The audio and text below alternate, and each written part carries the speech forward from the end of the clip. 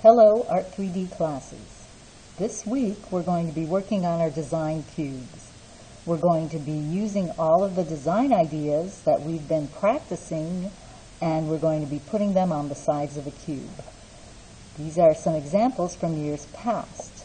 Um, the designs can be photographs or not photographs but drawings of actual things. They can be um, patterns or just abstract shapes and designs. This is one um, student's design cube. Here's another one um, with really cool patterns, some larger patterns, um, symmetrical balance, more patterns. Here's a contrast. Here's another pattern. Here's another contrast.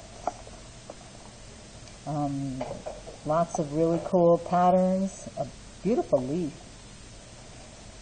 And her self-portrait. Very cool patterns.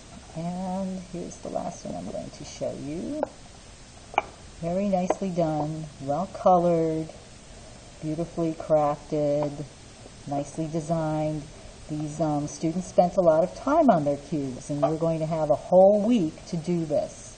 Um, what we're going to start with is we're going to start with a um, plan. We're going to make a planning sketch because on eCampus and in class we're going to have these cube um, templates. Um, these are actually the flat version of the design cube. They're on cardstock, which is slightly thicker paper, so it's easier to have the make the cube stand and um, put it together. Um, and if you don't have cardstock, you can just use copier paper. We'll find, uh, I'll tell you a plan for how to make it feel a little bit more substantial and sturdy as we get towards the end of this presentation. But everybody's going to get one of these. At home, you're going to download it. Um, it's on, it'll be on campus, and you're going to print it out, and you're going to put your decorations one side, one type of design in each of these boxes that make up the cube. So you're going to have six sides you're going to have six different things that you need to put in your cube. You're going to use um, symmetrical balance, asymmetrical balance, radial balance, pattern, contrast, and one side just has to be your name in some sort of design. Maybe you want to put your name in the clouds, or you want to simply put it next to your self-portrait. Um, you can put it off to the side on a pattern, you can add your initials.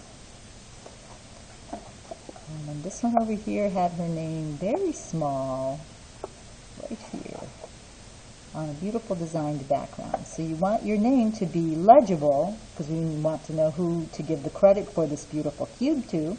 And we want you to have a nice background, some kind of design, some kind of patterns.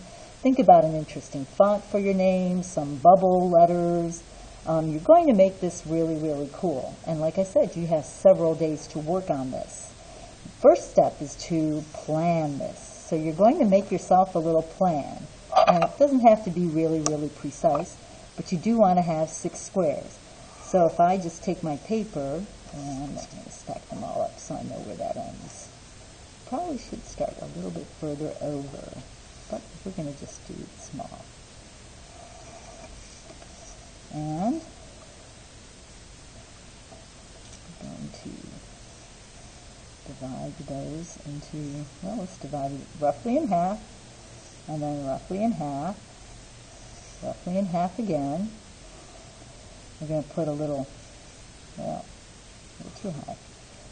Let's go here, and side thing here, a side thing here, and a side thing here.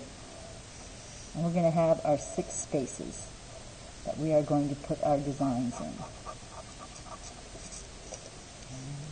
And this one here.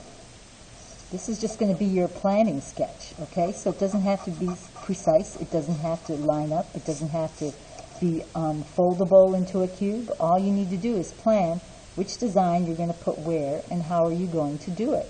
Are you going to do your symmetrical design here? Um, what color is it going to be? How's it going to look next to the um, things in this section? Um, how are these two going to look? Because they're going to all be next to each other. and then these are going to be next to each other. Okay, so everything's going to be touching on some sides, so you want things to flow through. And it's very difficult to try to keep things going the same way, but if you had these all oriented the same way, or these all oriented the same way, then you would be able to turn the cube a certain way and have things all right side up. I think this was her right side up way. Okay, but it doesn't really matter if they're not going to be right side up if you have some things that are upside down to each other because it's going to be a cube and there are eventually going to be some things that don't look like they go together. But you do want to have a plan. You want to have your different types of balance and your pattern and your contrast and your name on one of these sides. And you're just going to draw them on here. Once you have your drawings planned on here, and they can be sketches, they can be um, simple um, ideas. Maybe you did a beautiful balance design that you want to use here, then you can just say, I'm going to put my symmetrical balance here, I'm going to put my radial balance here, and maybe put just a rough sketch of what you did on your um, designs that you did last week. And then um, maybe you have a pattern that you want to use.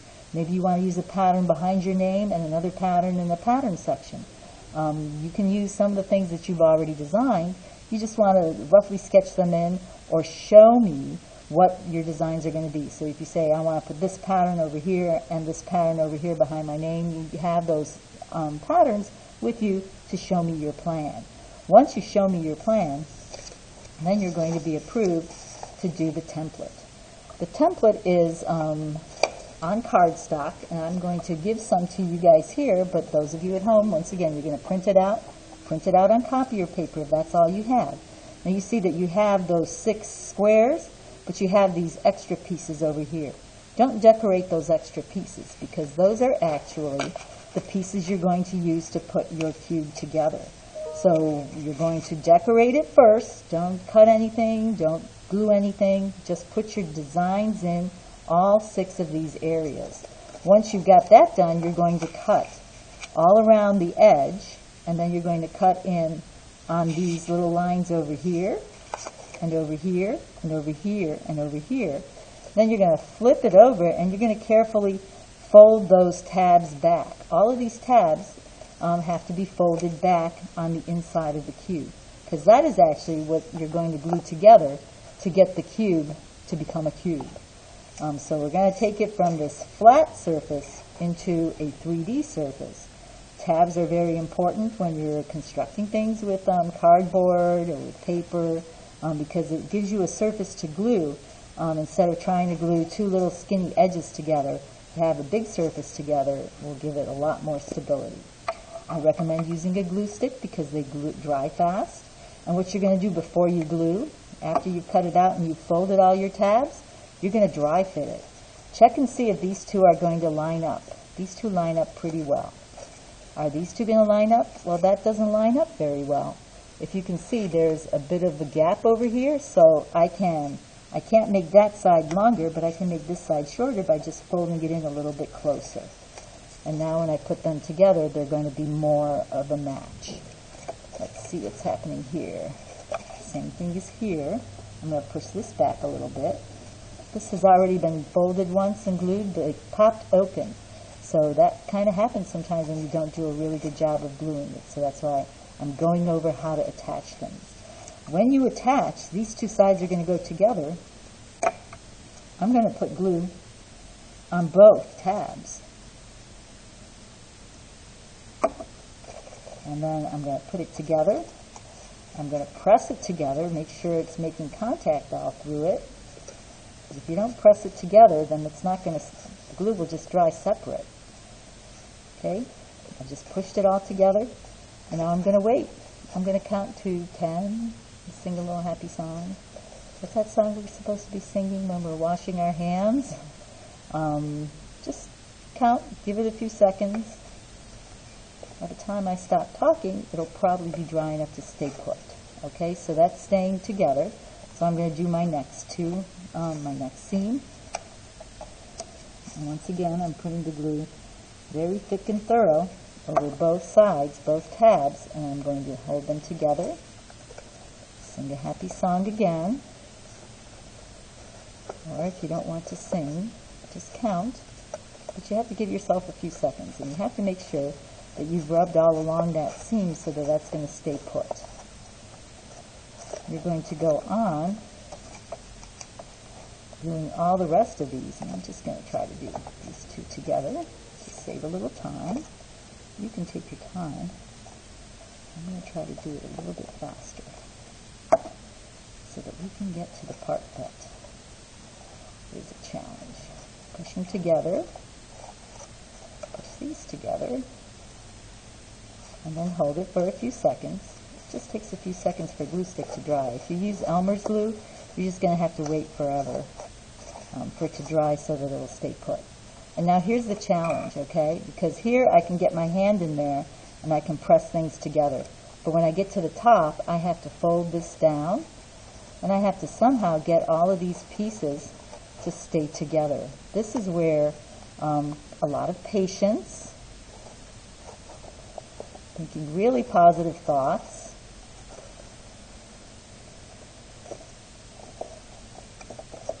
and a lot of glue helps you. You have to glue it on really well. And all of these tabs, and there's a lot of tabs here, there's six tabs, because you're putting all three sides of this cube together. You're gluing three sides of this um, top flap. The back side over here is just folded.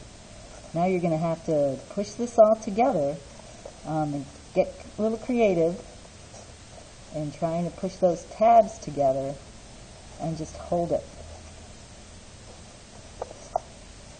Hold it everywhere. Um, if you have a friend, they can help you hold it. Maybe they could take a side. Most of the time, if you just wait a few seconds, keep pushing the sides together. Oops, that one came apart now. Takes a little patience, but eventually it will stay. If it doesn't, it'll pop open and you'll have another chance to try gluing it together. Okay? The A's, this is 100 points. This is 100 points because it's beautifully designed, well crafted, filled in all the spaces. There's no white here. She's put color everywhere. She's put color on background. Even where she's left white, she's got some design there. Okay? So you want to color all of your spaces. If white is part of your design, please feel free to use it, leave it white. But if you need to put a color, a background, you don't want to just draw a little tiny thing and leave the whole space white.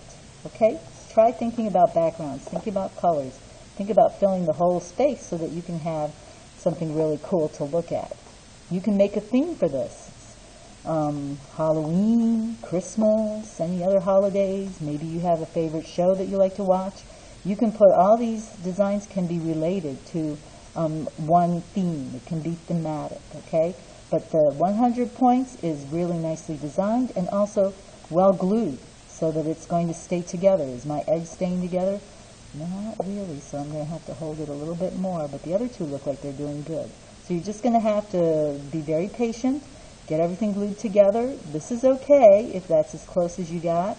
I'm looking at the whole cube and I'm looking at whether it's staying together long enough for me to look at it and grade it, okay? So if you have problems like this, just cheat a little and put a little more glue on there, okay? Be patient. You have you spent a week designing it. You should spend a little bit of time putting it together, okay? And hopefully you're going to have a really nice 100% cube. If part of your cube pops open, it's not a lost cause. If you really can't get it to get, stay together, take a photo, upload it. If you're in class, show me. Um, it might be 95 points or maybe 92 points. If you haven't done all of your designs really well, or you made a mistake on some of the balances or patterns, um, might take a few points off. But most people get an A on this project because it is simple and it's something you've prepared for, and it's something that you can do really well. You can do the 2D design and then make it 3D. It's very simple, and this will start us taking things up into the third dimension, into the 3D, instead of just working flat all the time. So we're going to be working more with um, cardboard forms, um, sometimes with paper forms, Um, and as you see, I'm having some difficulties here, but I'm just going to be patient and give it a little bit more glue and a little bit more time, okay? And that's what your job is going to be. Maybe if you stand it down and push it down, push down on it a little bit. Now, I told you before that if you didn't have cardstock, you would print this out on regular paper. If you print this out on regular paper, it's very thin. So before you cut it out and glue it together, you might want to put this on top, put two sheets together, and maybe just put a lot of glue stick and glue them all together. Um, and put the glue stick maybe on the entire back of your um, template and glue it all together and then cut it out and then you'll have a double thickness. But some people have done it with just the copier paper and it has worked. So be patient, do a good job, plan ahead of time, make your plan, implement your plan, make sure that you have all of these things on your cube.